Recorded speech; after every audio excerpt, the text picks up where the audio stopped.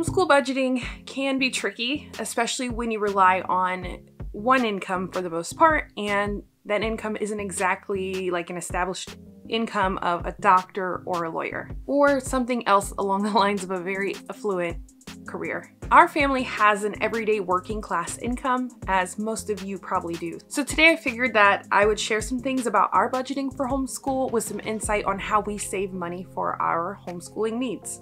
Now, the great news is that there are other ladies willing to share their budgeting tips, tricks, and information through a collaboration created by Shanna from Making Everyday Magic. The playlist for this collab will be linked down below and shared at the end of this video, so be sure to check out those other ladies in this collab after watching my video. And for all the new people, Please introduce yourselves in the comments with a fun fact about yourself or about your homeschooling style. I would love to talk further with you in the comments. All right, now on to the homeschool budgeting.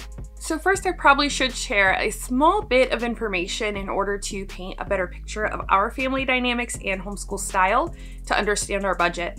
I have two children, a seven year old and a four year old. We are eclectic homeschoolers, which means we pull a little bit from every which way to create a homeschooling style that fits our needs on a day to day basis. We often do experience change while also keeping a natural rhythm to our day and our life in general.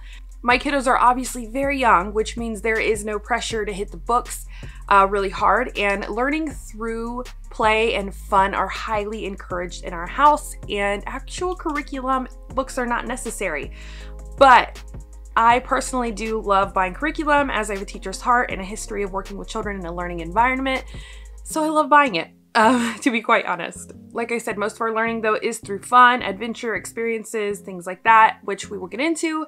Um, so that is a pretty good overview of our homeschooling dynamics and how we operate every day. Over the past few years, I would usually buy a bulk amount of our curriculum for homeschool all at once, usually about in July. But this past year, we changed a lot about the way that we homeschool as the old way just wasn't working for our current needs. So instead of doing curriculum regularly, it became a more sporadic part of our homeschooling style. So yes, this past year we didn't do a lot of homeschooling in the way that most people would think about it. Uh, it wasn't super structured.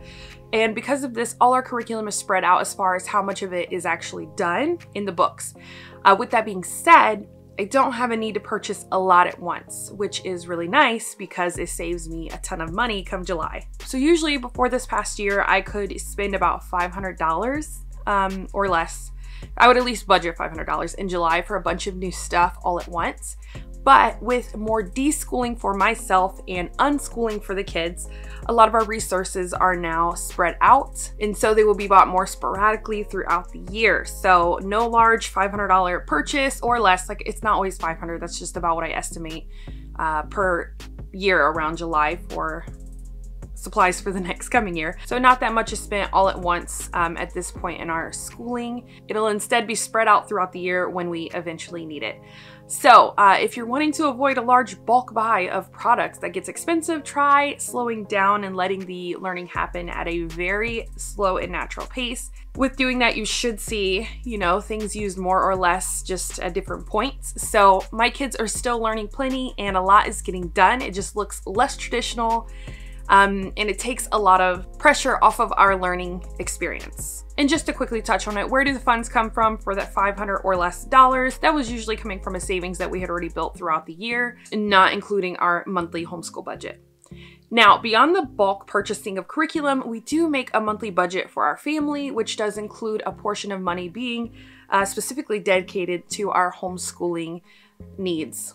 I try to keep field trips and homeschooling in two separate budget columns, but sometimes they do combine when I need to pull funds from one to the other. I will address our field trips and budget next, but first I want to talk about our general homeschool funds in the budget.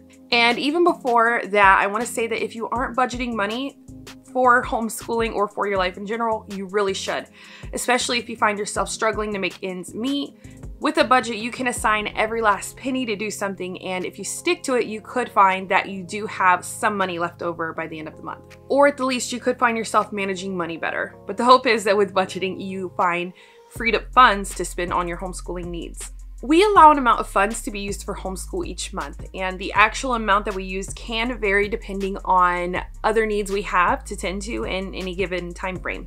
Usually it can range between zero to $100, okay? So yes, that's right. It fluctuates quite a lot.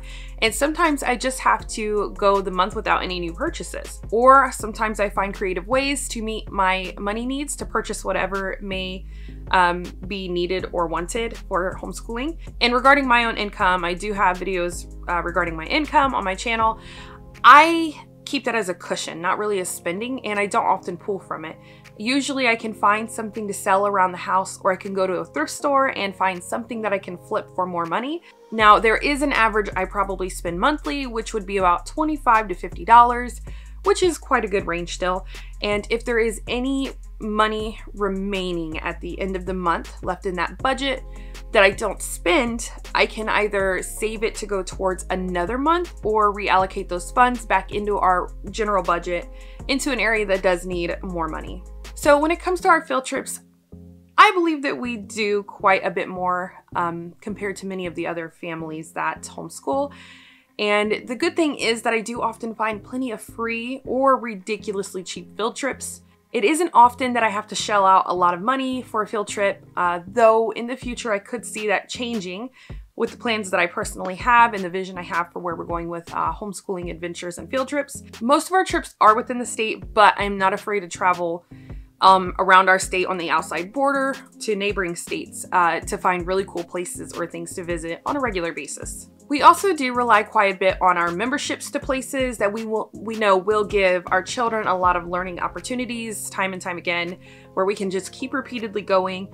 We hold memberships to three of our local attractions that offer plenty of learning and in a wide variety of subjects like science, art, history, physical education, reading, math, and life skills. So yes, getting our memberships to those places may cost us anywhere from like a 100 to $200 up front.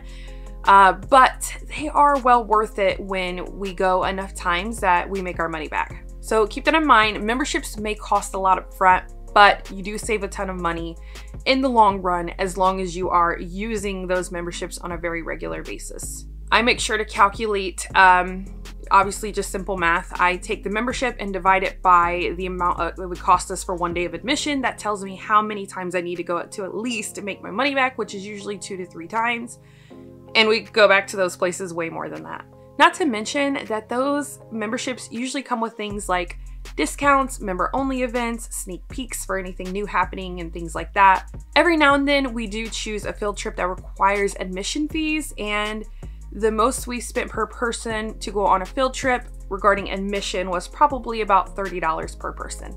Now, usually the biggest cost to consider is gasoline, especially right now while there is a major inflation in prices. Field trips are mostly always planned ahead and rarely spur of the moment uh, when it has cost, and we plan and budget for that trip ahead of time. Okay, so as you can see, budgeting is extremely important to us. Uh, we also save a lot of money by doing things like packing meals and snacks and drinks um, instead of buying things at the field trip. I've also had to learn to say no a lot. So uh, sometimes I do say yes, but often my kids hear me say no to all the extra souvenirs, the shiny objects that they want to buy, the gift shops uh, while on the trips, things like that. So be okay with saying no to a lot of those things or allocate a very small amount of funds. Usually at those gift shops, you can find things for kids for $5 or less.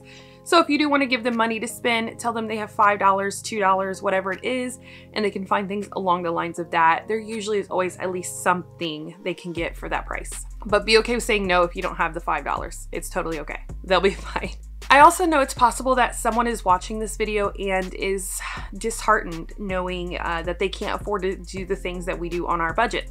I do consider my budget to be quite modest, okay? We don't have a ton of money uh, every month to spend specifically on homeschool, but I do know that um, it is also a privilege to spend the amount that I do, and not everyone can and I don't take that for granted. If you cannot afford anything that I am describing in this video, that is okay. Uh, work with what you have and find the joy in it, to be honest. Our children don't need all the shiny objects and things and experiences. They honestly just need us to be present. So make a budget, do the best you can. Also, while we're kind of on the subject about budgeting and uh, homeschooling, I'd love to hear how you make room in your budget for fun things for homeschool without spending a lot of money. Uh, so feel free to share tips, tricks, and stories in the comments below and help other homeschoolers out that maybe need help in this area. And I look forward to reading what you want to share in the comments regarding this. Another thing that I recommend is pay up in price only for curriculum if you know it is absolutely worth it. For me, the only curriculum that I feel like personally is worth paying up for at this point in our learning is All About Reading.